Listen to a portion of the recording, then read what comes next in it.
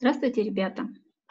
Сегодня среда, геометрия, и с вами снова я, говорящая голова Елена Анатольевна. А у нас а, сегодня с вами последние два урока по теме призма, и на следующем уроке геометрии, во вторник, вы пишете по этой теме проверочную работу. А сегодня а, мы с вами поговорим на тему о том, как находить площадь поверхности призмы. Итак, откройте, пожалуйста, тетради, запишите сегодняшнее число, 22 апреля, призма, площадь поверхности.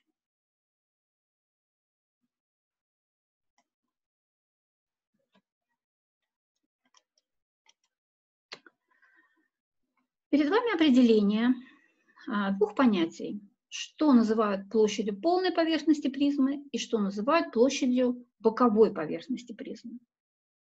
Прочитайте, пожалуйста, эти определения и запишите их в тетрадь. И э, я надеюсь, что когда вы прочитали эти определения и в процессе записи в тетрадь, в общем, вы, наверное, отметили для себя, что эти определения для вас а, не являются новыми. Ну и, в общем, определения эти мы с вами, наверное, первый раз узнали или столкнулись с ними, ну, достаточно давно. А, может быть, даже еще в начальной школе, но если не в начальной, то, по крайней мере, в пятом классе, потому что именно тогда мы с вами познакомились а, с таким понятием, как прямоугольный параллелепипед. И именно при разговоре о прямоугольном параллелепипеде мы и вели разговор о нахождении площади его полной поверхности и о нахождении площади боковой поверхности прямоугольного параллелепипеда.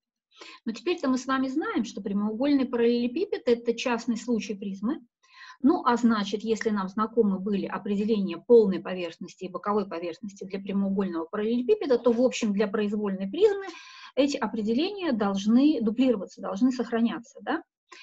И это значит, что для того, чтобы понимать, как нужно а, находить эти самые площади, нужно очень четко представлять себе, с какой, собственно, призмой мы имеем дело.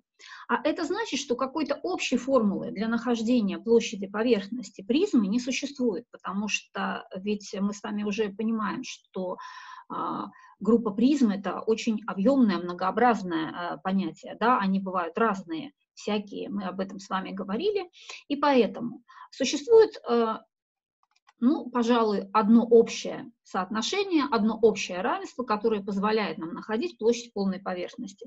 Оно достаточно, как сказать, условное, да, то есть площадь полной поверхности находится как сумма площадей а, боковой поверхности и двух площадей оснований, что, в общем, является совершенно очевидным фактом, и это следует из определения призмы.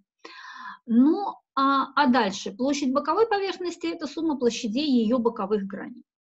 Ну и, как вы понимаете, далее расшифровка вот этого равенства, вот этой формулы, она в каждом случае своя. И э, мы с вами знаем, да, что бывают призмы правильные, бывают призмы прямые, а бывают произвольные призмы. Ну и, как вы, конечно же, уже догадываетесь, проще всего а, справляться с задачей нахождения площади поверхности правильной призмы.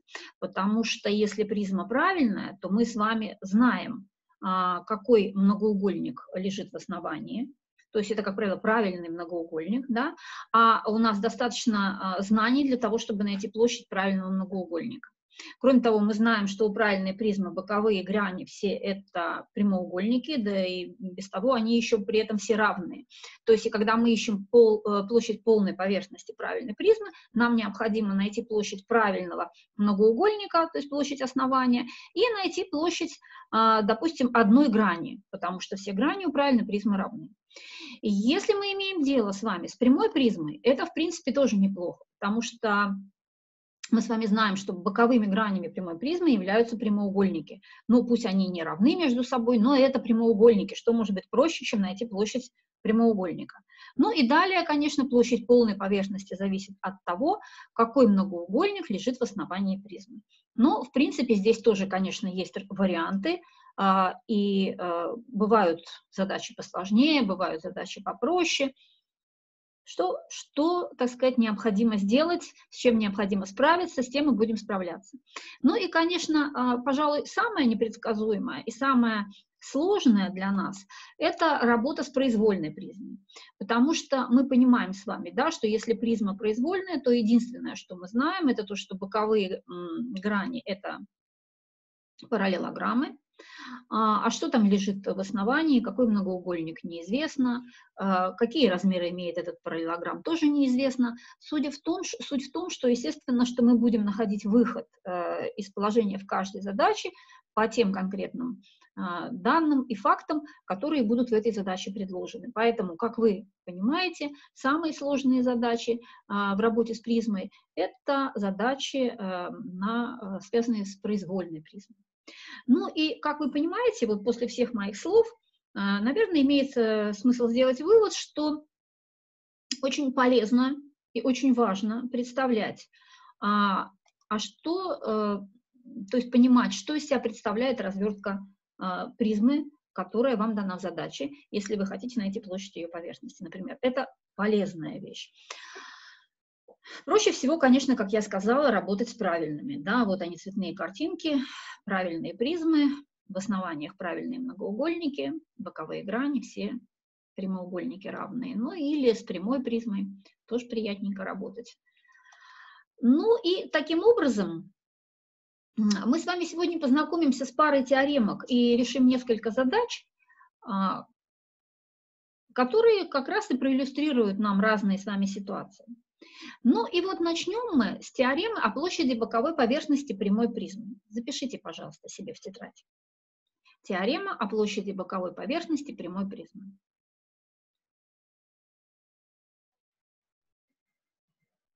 Ну, потому что если призма прямая, то какие-то бонусы от этого мы все-таки имеем. А значит, а, можно, в общем, и вывести какую-то формулу для нахождения площади ее боковой поверхности. Ну, потому что что лежит в основаниях, опять же, неизвестно, а вот про боковую поверхность мы можем поговорить. Итак, площадь боковой поверхности прямой призмы равна произведению периметра основания на высоту призмы. Ну и чтобы э, доказать это утверждение, да, э, давайте с вами э, рассмотрим развертку э, этой призмы. Ну, у нас тут частный случай, шестиугольная призма, но, как вы понимаете, э, вывод наш будет распространяться на n-угольную призму. Итак, перед нами развертка прямой призмы, и эта развертка представляет из себя два основания, да, верхняя и нижняя, и развертка боковой поверхности. Ну, в данном случае это шесть прямоугольников, у которых одна из сторон, ну, скажем так, да, в данном случае высота, она будет равна. И эта сторона будет равна высоте призмы. Значит, таким образом, а, вот в зависимости от того, сколько у нас сторон в основании, столько у нас будет здесь прямоугольников.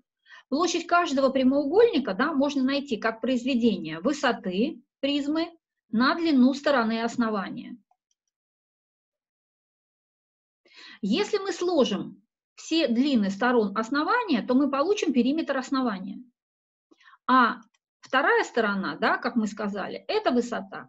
Значит, таким образом а, формула для нахождения площади боковой поверхности прямой призмы может выглядеть вот так. Площадь боковой поверхности равна произведению периметра основания на высоту.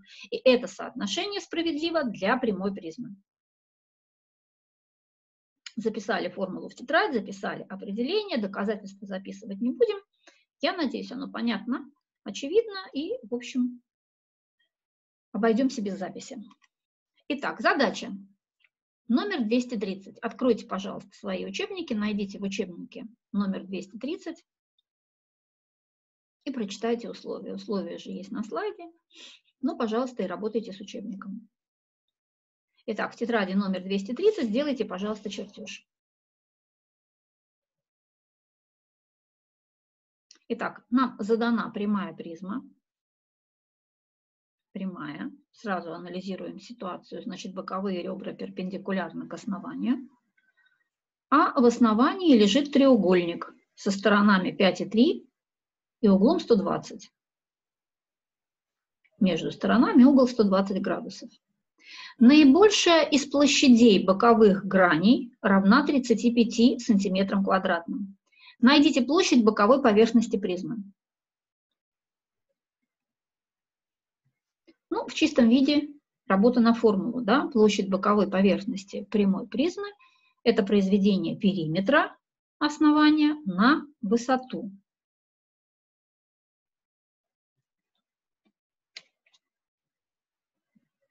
Ну и вот здесь вот в условии сказано, наибольшая из площадей боковых граней равна 35 сантиметрам квадратных. Не сказано, про какую грань идет речь. Значит, первое, что мы должны с вами, наверное, сделать в задаче, прежде чем э, приступить к вычислительной части нашей работы, да, это проанализировать вот эту фразу. Наибольшая из площадей боковых граней, то есть про какую грань идет речь.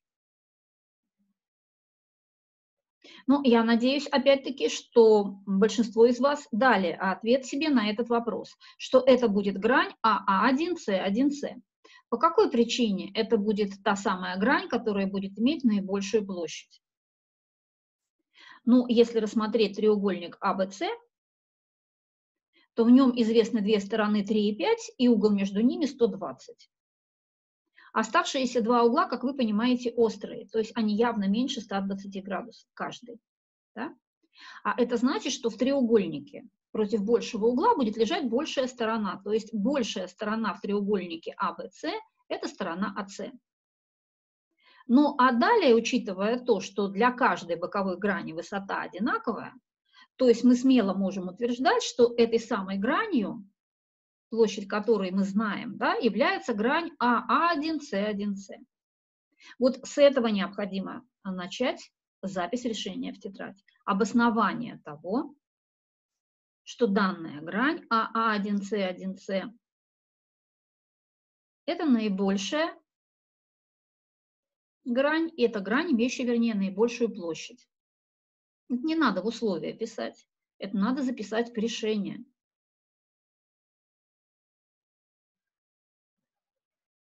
Итак, написали, да?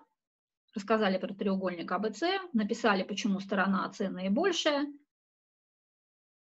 И далее, учитывая, что боковые ребра равны, большая площадь у грани АА1С1С.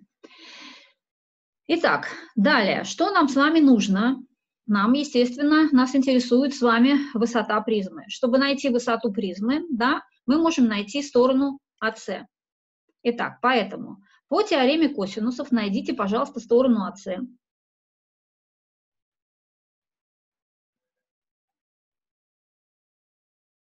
Ищем сторону АС, что даст возможность нам найти и периметр основания, и высоту призмы. Итак, теорема косинусов записали для стороны АС.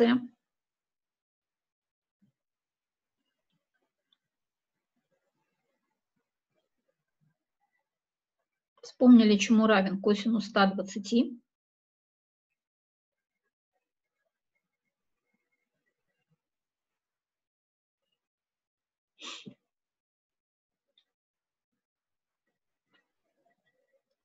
Косинус 120 минус 1 вторая, минус 1 вторая.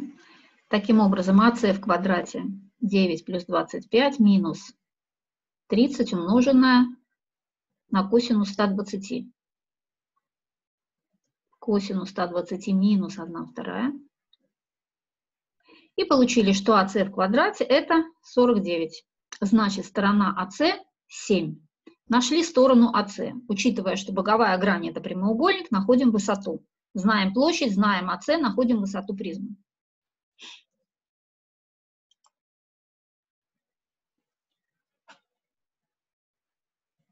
Высота призмы равна 5. И переходим к следующему шагу. Воспользуйтесь теоремой о площади боковой поверхности призмы. Вперед. Находим площадь боковой поверхности призмы.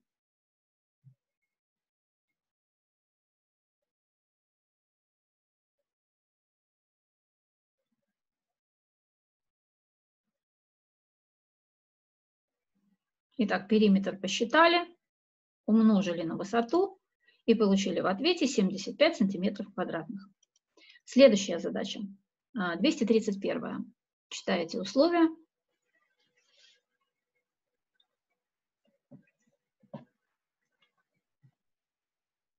Перед нами прямой параллелепипед.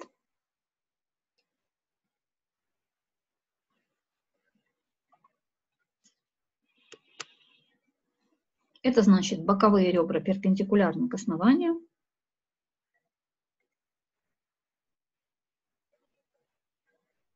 Известная сторона основания параллелепипеда 8 и 15 и угол между ними 60. То есть мы понимаем, что в основании лежит а, параллелограмм. И вот дальше опять косвенно заданные условия. Меньшая из площадей диагональных сечений равна 130 сантиметрам квадратным. Давайте с вами вспомним, что такое диагональное сечение. Диагональное сечение – это сечение а, параллелепипеда плоскостью, проходящей через диагональ параллелепипеда и какое-нибудь боковое ребро. Ну, таких диагональных сечений, да, мы с вами можем построить, ну, например, вот так два. Верно? И таким образом мы сейчас с вами должны определиться, а о каком из них идет речь. О каком диагональном сечении идет речь. То есть площадь какого сечения мы знаем, розовенького или желтенького. Но для того, чтобы ответить на этот вопрос, учитывая то, что одна из сторон этих сечений, в сечении, как мы понимаем, прямоугольники, да, и одна из сторон этих прямоугольников совпадает, а вторые, а вторые стороны будут разные, и, а, значит, площадь этих сечений будет зависеть от величины диагоналей, да, то есть мы сказали, в основании у нас параллелограмм, и, а, значит, таким образом а, площадь сечений будет зависеть от величины диагонали, то есть что больше, АС или ДБ. Вот что больше, та и площадь сечения будет больше. Значит, таким образом мы с вами выясняем, да, какое же будет меньшее диагональное сечение. Ну, объяснение, наверное, будет такое, что ДБ меньше, чем АС. По какой причине? Потому что, например, если мы рассмотрим треугольник ДАБ, в нем стороны 8 и 15 и угол 60. Если мы рассмотрим треугольник ADC, в нем стороны 8 и 15, и между ними угол 120. Поэтому диагональ AC будет больше, чем диагональ DB. Потому как диагональ AC при условии равных сторон лежит против большего угла. Значит, таким образом, да, мы оставляем с вами одно сечение D, D1, B1, B, его площадь равна 130 сантиметрам квадратным. И нас интересует площадь поверхности параллелепипеда, то есть площадь полной поверхности. То есть мы должны найти сейчас с вами площадь основания и площадь боковых граней. Ну и давайте, найдем площадь основания призмы. Пожалуйста, в основании призмы параллелограмм, известны две стороны и угол между ними. Находите площадь основания.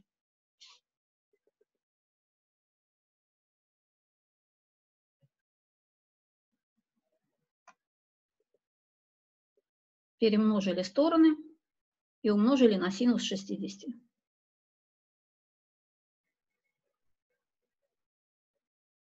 Синус 60, корень из 3 на 2. Получили в ответе 60 корней из 3. Значит, площадь основания 60 корней из 3.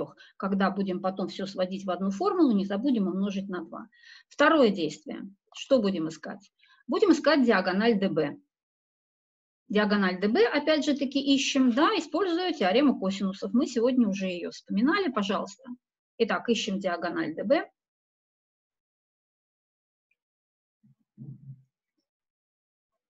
Из треугольника DAB. Квадрат АД плюс квадрат АБ минус удвоенное произведение АД на АБ на косинус 60 градусов.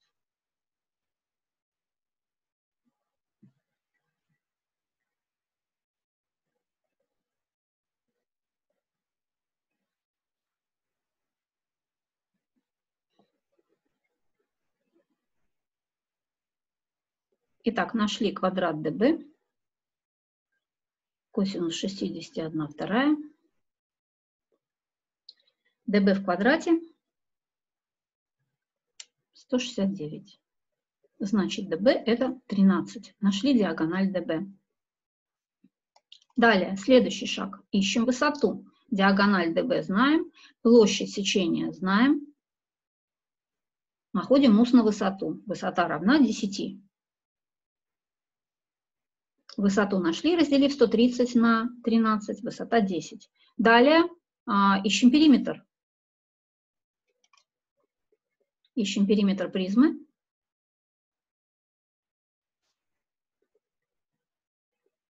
Сорок шесть. И, наконец, все, что нашли, подставляем формулу. Все соединяем вместе. Да?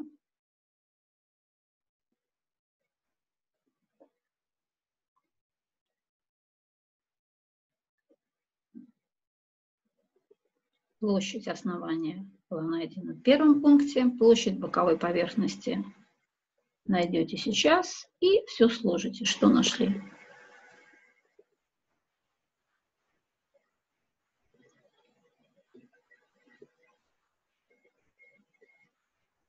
Я надеюсь, вы справились, времени было достаточно. В ответе у вас должно получиться 460 плюс 120 корней из трех. 460 плюс 120 корней из трех. Итак, следующая задача, 232. Задача номер 232. Находите ее у себя в учебнике.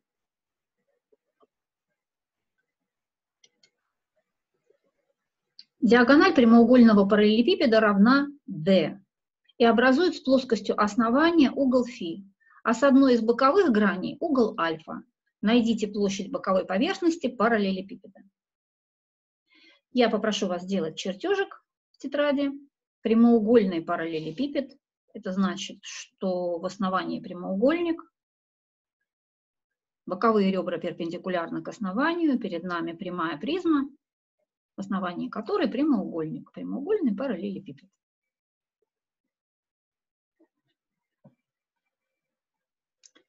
Решение этой задачи мы с вами записывать не будем. Вы запишете решение этой задачи, когда закончится а, наш урок. Но мы с вами сейчас обсудим, а, как эту задачу следует сделать. И сделаем необходимые построения на чертеже. Но я надеюсь, вы понимаете, да, что нам сейчас нужно эти самые углы а, альфа и фи на чертеже найти. Итак, диагональ прямоугольного параллелепипеда равна d, она обозначена, и образует с плоскостью основания угол φ. А, угол между диагональю и плоскостью основания мы с вами, в общем, уже не один раз находили в задачах. Поэтому я прошу вас сейчас самостоятельно этот угол обозначить. Угол между диагональю и плоскостью основания. Это угол между диагональю и ее проекцией на данную плоскость. Да, вот он. Вот он этот угол. Это тот самый угол φ, о котором идет речь в задаче. Наверное, чуть посложнее не ошибиться а, в нахождении угла а, между этой диагональю и одной из боковых граней. Ну, давайте, например, а, спроецируем нашу диагональ на боковую грань да, и тогда между диагональю и боковой гранью, посмотрите, а, значит, куда мы спроецировали, да, угол между диагональю и боковой гранью, вот он где находится, видите, на боковую грань АА1, Д1, да, мы сделали проекцию. И тогда вот этот самый угол альфа а, будет здесь. И таким образом дальше мы ищем площадь боковой поверхности параллелепипеда. Ну, как вы понимаете, чтобы найти площадь боковой поверхности параллелепипеда, нам а, нужно знать периметр параллелепипеда и высоту параллелепипеда. То есть фактически мы с вами должны сейчас найти все три измерения параллелепипеда. Ну, давайте смотреть.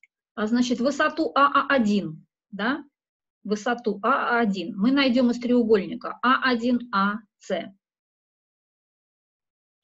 А, этот треугольник, да, так же как треугольник А1ДС, он прямоугольный. То есть мы сейчас с вами работаем с двумя прямоугольными треугольниками. Почему они прямоугольные, вы, пожалуйста, обоснуйте сами. Мы это делали в предыдущих задачах не раз. Значит, из треугольника А1АС мы находим высоту, допустим, раз, одно измерение есть. Далее смотрим. Из треугольника А1, Д, С мы находим второе измерение, например, DC, ребро, верно? И теперь смотрите, вы знаете два ребра, высоту АА1 и ребро DC, и знаете диагональ D, она вам тоже задана. А это значит, используя свойство диагонали, что квадрат диагонали в прямоугольном параллелепипеде равен сумме квадратов трех его измерений, вы можете найти третье измерение. Найдя третье измерение, у вас есть все основания закончить решение этой задачи самостоятельно. Поэтому задача 232 вами будет записана в тетрадь после того, как закончится наш видеоурок. А мы переходим к следующей теоремке. Итак, пишем в тетради. Теорема о площади боковой поверхности наклонной призмы. Как я уже вам говорила, а, про наклонную призму, да, про произвольную призму вообще трудно что-либо предсказать. Но есть одна теорема, которая зачастую, в общем, бывает полезной. И звучит она так. Площадь боковой поверхности наклонной призмы равна произведению периметра перпендикулярного сечения на боковое ребро. Запишите, пожалуйста, себе формулировку этой теоремы в тетрадь. Что же называют перпендикулярным сечением а, наклонной призмы? Под перпендикулярным сечением наклонной призмы а, мы будем с вами понимать ее сечение плоскостью перпендикулярной к боковым ребрам и пересекающей эти ребра. То есть перпендикулярное сечение – это сечение призмы плоскостью, перпендикулярной боковым ребрам и пересекающим эти ребра. Итак, что же это за сечение? Ну вот, допустим, такое сечение. А, оно перпендикулярно всем боковым ребрам. Ну, достаточно построить его перпендикулярным одному ребру, и автоматически, учитывая то, что боковые ребра все между собой параллельны, эта плоскость будет перпендикулярна всем остальным э, боковым ребрам. Да? Таким образом, смотрите, э, если мы рассмотрим выделенное ребро L, обозначим его как L, а, то а, получается, что и, а, и проведем перпендикуляр из вершинки А1 на это ребро, А1, А2, то есть это будет высотой боковой грани. Боковой гранью у нас является параллелограмм, верно? И значит, если мы об этом задумаемся, то тогда площадь этой грани может быть найдена по следующему соотношению. Это произведение основания параллелограмма, то есть ребра, Э, то есть высоты АА1 на а, значит, основание L. В данном случае для а, призмы это боковое ребро. Соответственно, если мы рассмотрим другую грань, да, и в ней проведем высоту, то картина получится точно такая же. Вторая грань – это тоже параллелограмм. И если L мы примем за основание, а А2, А3 а, назовем высотой, то тогда площадь второй боковой грани может быть найдена точно так же. Ну и если мы дальше продолжим движение по призме, то сколько бы у нас там параллелограммов у наклонной призмы не было, значит у нас получится для третьей грани такое равенство, для четвертой грани такое равенство, для n грани такое равенство. И далее, если мы хотим найти площадь боковой поверхности, то вот эти вот площади отдельно взятых граней мы с вами должны сложить, верно? Если мы их сложим, то в левой части у нас с вами получается площадь боковой поверхности, а в правой части – если в этой сумме L мы вынесем за скобки, внутри а, останется да, а, сумма А1, А2 плюс А2, А3 и так далее, то есть периметр перпендикулярного сечения. Таким образом, мы с вами доказали а, эту теорему. Площадь боковой поверхности наклонной призмы равна произведению периметра перпендикулярного сечения на боковое ребро. Но Полезная очень теорема. Вот самая простенькая задача, которая позволит нам ее э, применить, решая эту задачу фактически устно. Прочитайте, пожалуйста, условия 237 задачи.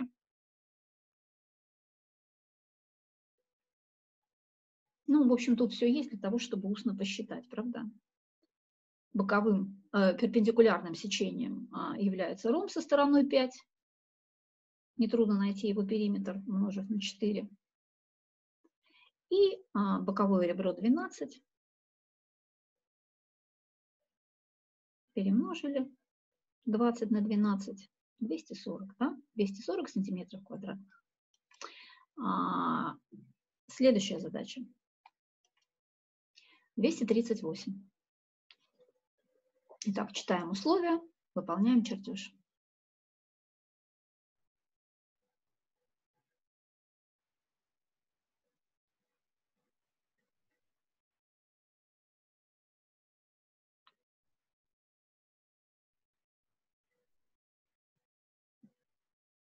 Итак, перед нами наклонная призма. Две боковые грани взаимно перпендикулярны, то есть двугранный угол при одном ребре прямой, а их общее ребро, отстоящее от двух других боковых ребер на 12 и 35, равно 24.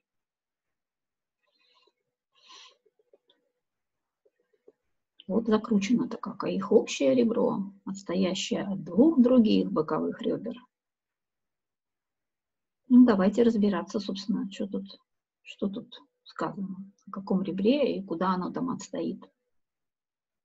Ну, если вы взглянете вот на этот рисунок, то, наверное, сделали уже свой определенный вывод, что здесь его удобнее представить, что э, грани, которые перпендикулярны взаимно, да, это грани АА1, Б1, Б и ББ1, С1, то есть вот они грани, которые на нас уголочком глядят, они вот как-то на чертеже, скорее всего, взаимно перпендикулярны. Да? Так изображено. Ну и прекрасно. Значит, их общим ребром будет ребро ББ1 у этих двух взаимно перпендикулярных граней.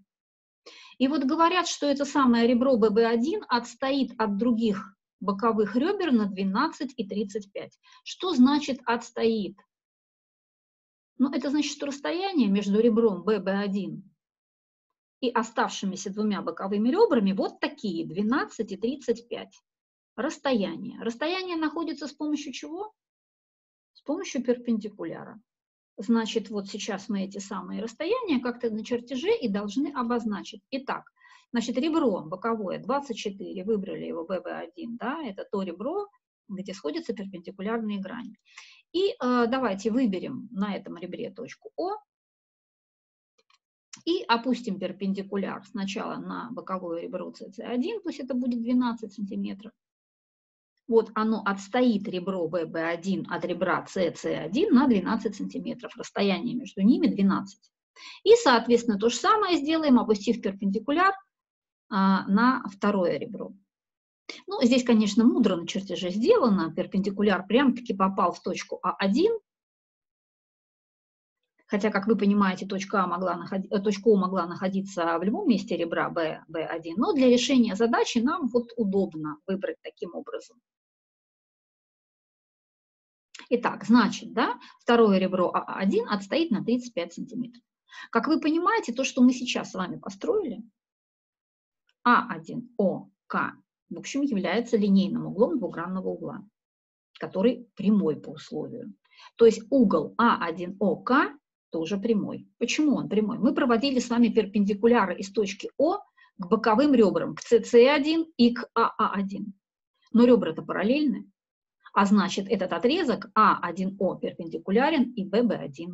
А значит отрезок КО перпендикулярен и ББ1. Верно? То есть перед нами фактически линейный угол двугранного угла. И этот линейный угол равен 90 градусам. Таким образом, если мы рассмотрим треугольник А1ОК, он будет прямоугольным. Итак, это прямоугольный треугольник, и перед нами фактически построенное перпендикулярное сечение наклонной призмы. То есть у нас имеется сечение перпендикулярное к ребрам, к боковым призмы. Да? Почему оно такое? Мы с вами только что это объяснили. Значит, таким образом нам нужно найти периметр этого перпендикулярного сечения и умножить на боковое ребро. Периметр перпендикулярного сечения, простите, ребятки, да, давайте вернемся, периметр перпендикулярного сечения, чтобы найти, нас интересует А1К, гипотенуза прямоугольного треугольника. Ну, я думаю, что здесь никакого труда ни у кого не возникнет найдете. И далее закончите задачу 238, запись ее решения тоже самостоятельно. Мы с вами все обсудили. Итак, таким образом, а, сейчас вы продолжите самостоятельную работу и посмотрите, что вы должны сделать. Значит, на следующем слайде а, вы увидите ссылочку на видео, а, которое расскажет вам о существовании пространственной теоремы Пифагора и докажет вам эту теорему. Я попрошу вас записать в тетрадь формулировку этой теоремы, запомнить и сделать рисунок. Запись доказательства в тетрадь записывать не нужно, но я настоятельно рекомендую вам пересмотреть не один раз, может быть, это доказательство для того, чтобы его четко понять и разобраться в нем. А, значит, э, обращаю ваше внимание на то, что презентация к сегодняшнему уроку находится на Яндекс Диске, к которому у вас есть ссылочка. Вы можете выйти туда в нашу папочку 10, скопировать ссылку, вставить ее в адресную строку, и таким образом вы сможете просмотреть видео которое я вам рекомендую. Далее, после того, как вы это видео просмотрите, вы вернетесь к нашему обсуждению и запишите в тетрадь решение задачи 232. И самостоятельно решите еще две задачи 233 и 234. Я не прошу вас присылать эти задания на почту, вы решаете их. Если у вас есть какие-то вопросы, пожалуйста, пишите мне личным сообщением, либо я вам перезваниваю, отвечаю на ваши вопросы, либо же мы с вами встречаемся в Zoom на консультации. Пожалуйста, я всегда рада а, вас слышать и видеть, потому что мне очень не хватает ваших шуток, ваших улыбок, но куда деться? Будем надеяться, что это все-таки скоро закончится, и мы с вами встретимся. Итак, а на этом слайде формулировка пространственной теоремы Пифагора. Если все плоские углы при одной из вершин тетраэдра прямые, то квадрат площади грани, противолежащей эти вершине, равен сумме квадрата площадей остальных граней. Вы скажете, при чем тут тетраэдр? Мы вроде бы про призму. Ну, вот в процессе просмотра этого видео а, вам станет понятно, при чем тут тетраэдр. А, ссылка, да, еще раз говорю, а, значит, вы можете ее скопировать в презентации в нашей, которая на Яндекс Диске, вставить в адресную строку и посмотреть это видео. Таким образом, сегодняшний наш урок, ваш и мой, подошел к концу. У вас сейчас время для самостоятельной работы. Я прошу не откладывать эту работу в долгий ящик, а именно сейчас заняться тем делом, который я прошу, который я вам рекомендую выполнить, да, той работой. А, итак, ребятки, до новых встреч. Следующий урок у нас в пятницу алгебра. Я очень прошу вас а, выходить на урок вовремя. Лучше, если вы смотрите его сразу, а не потом, когда время закончено.